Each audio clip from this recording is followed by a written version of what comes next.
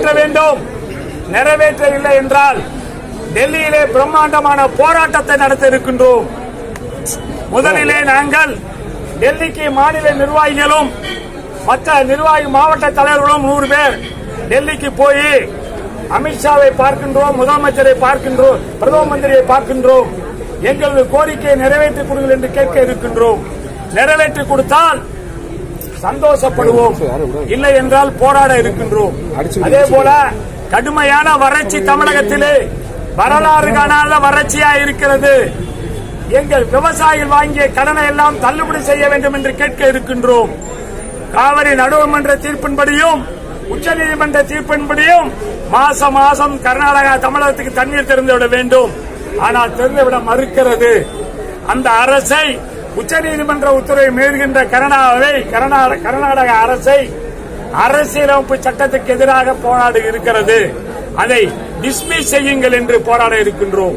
எங்களுக்கு தண்ணீர் கொடுக்கவில்லை என்றார் அதே போல ஒரு காலத்தை நதி மாநிலங்கள் பிரிக்கும் பொழுது இடுக்கி மாவட்டம் தமிழ்நாட்டோடு இருந்தது. திரும்பவும் இடுக்கி மாவட்ட தமிழகத்தை சேர்த்தால்தான் மேற்கு மண்டலத்தில் இருக்கிற பத்து லட்சம் ஏக்கர் சாடி ஆகும் வேஸ்டா தண்ணி போய் கடல்ல விடுது அரபிக்கடல்ல. அந்த திருப்பி இங்க இடுக்கி மாவட்டத்தை சேர்க்க வேண்டும். தமிழகத்திற்கும் கேரளாவுக்கும் எல்லையை வரவழைக்க வேண்டும். அப்பொழுதுதான் சிற்பகவல்லி ஆறு மற்ற ஆறுகள் எல்லாம் இந்த தண்ணீர் நமக்கு கிடைக்க வாய்ப்பு இருக்கிறது என்று கேட்க இருக்கின்றோம். தேர்தலிலே விவசாயிகளுக்கு கடன் தள்ளுபடி செய்கிறேன். எல்லா உதவி செய்கிறேன் சொல்லி இங்க இருக்க நம்ம கட்சிக்கு வெற்றி அடைந்த முப்பத்தி ஏழு பாராளுமன்றத்தில் வெற்றி அடைந்தவர்கள் கூடியிருக்கிறார்கள் அவர்களுக்கு நன்றி கூறுகிறோம். நாங்கள் டெல்லியிலே போராடும் போது எங்க கூட அவங்களும் வந்து போராட வேண்டும். எங்க கடன் தள்ளுபடிக்காக போராட வேண்டும் என்று இங்கே கேட்டுக்கொள்கின்றோம். விவசாயிகளை ஏமாற்றி மோசடி செய்கிறார்கள்.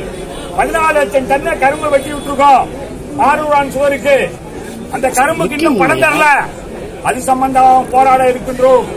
இந்த மாசத்துக்குள்ள போராட்டம் நடத்த இருக்கிறோம். இந்த மாசத்துக்குள்ள டெல்லிக்கு போகிறோம். இந்த மாசத்துக்குள்ள கேட்கிறோம்.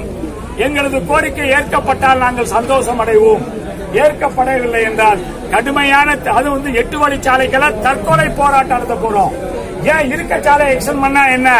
இதற்காக விவசாய நிலத்தெல்லாம் அழிக்க பாக்குறீங்க ஒரு பக்கம் ஹைட்ரோ கார்பன் எங்களுக்கு தண்ணி கொடுக்காம ஏமாத்தி லாபகரமா விலை கொடுக்காம ஏமாத்தி ஓடி போயிட்டா விவசாயம் விட்டுட்டா ஹைட்ரோ கார்பன் எடுக்கலாம் நினைக்கிறாங்க.